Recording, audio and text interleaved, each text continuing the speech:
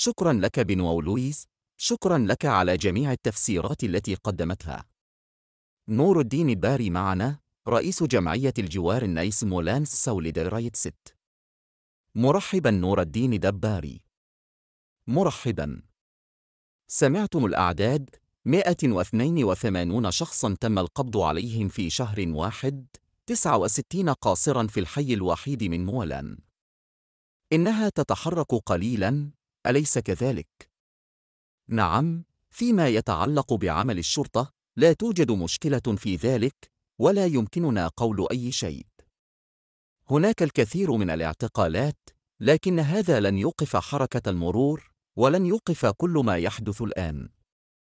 منذ بث الفيديو الأول كنت أنا من جعل كل شيء ينفجر. كنت على حق هناك نوع من الحرب الإقليمية التي تحدث.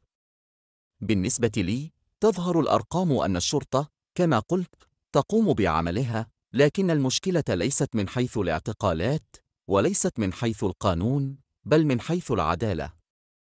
لا يوجد ما يكفي فكيف أقول لك أن العقوبة لا تكفي وليست مهمة بما فيه الكفاية؟ وبالتالي فأن تقدر أنه لا يزال هناك الكثير من العمل الذي يتعين القيام به.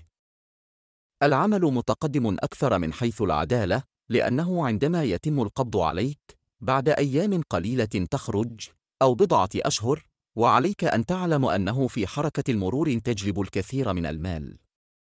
لذلك تلقائيا ينشأ أعلم أنني ناقشته مع بعض الشبكات وعندما يتم إخبارك لقد ربحت المال كم تكسب؟ إلى متى تريد أن تأخذني؟ أن تقول حسنا بعد عامين أشعر بأنني فائز. ماذا تريد مني أن أجيب على ذلك؟ بالإضافة إلى ذلك هناك المزيد والمزيد من القصر الآن لذلك هناك الكثير من العمل الذي يتعين القيام به.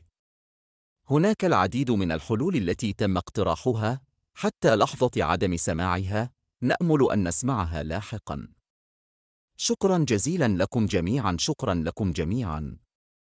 سنراكم بعد لحظات لبقية البث المباشر وسنوافيكم بأخبار ميشيل دروكير.